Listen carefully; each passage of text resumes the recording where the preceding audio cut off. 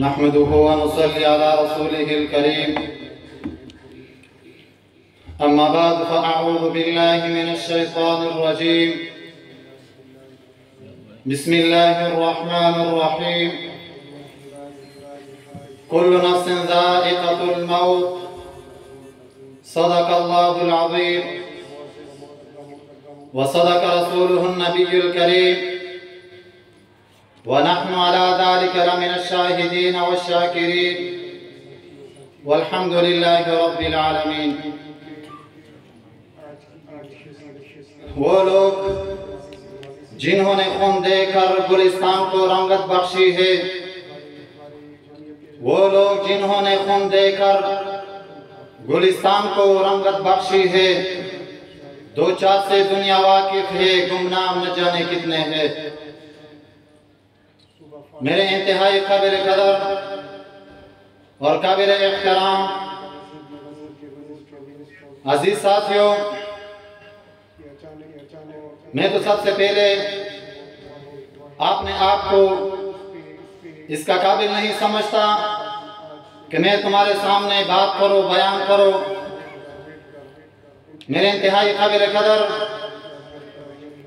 मैंने आप लोगों के सामने एक आयत पेश की। तो उससे खबर, मेरे भाई दोस्तों, दुनिया में ऐसे लोग मौजूद हैं जो सहाबा को नहीं मानते, और ऐसे लोग मौजूद हैं जो अम्बिया को नहीं मानते, और ऐसे लोग भी मौजूद हैं जो नाउजुबिल्ला अल्लाह को भी नहीं मानते। मगर ऐसे लोग नहीं मिलेंगे। ऐसे लोग नहीं मौजूद जो जो मौत को नहीं मानते।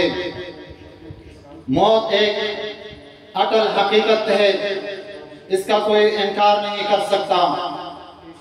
तो मेरे भाई दोस्तों, किसी के मौत पर घर में शोक मनाया जाता है तो किसी के मौत पर गाँव में, शोक मनाया जाता है तो किसी के मौत पर सुबह के लेवल से लोग शोक मनाते हैं तो मेरे भाई दोस्तों, हज़रत मौलाना मुफ्ती अब्दुल शकूर साहब की मौत पर पूरे मुल्क ने शोक मनाया।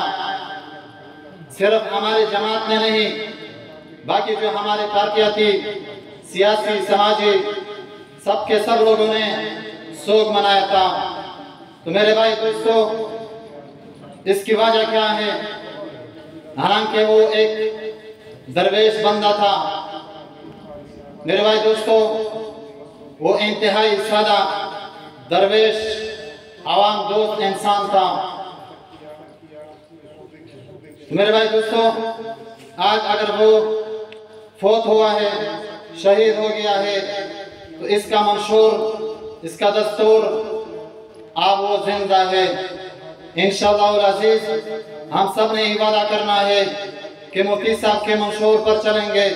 मुफ्ती साहब के दस्तूर पर चलेंगे इन अज़ीज़। बाकी मैं आप लोगों का टाइम नहीं लेना चाहता। वाखिर दवाना रब्बिल आलमीन।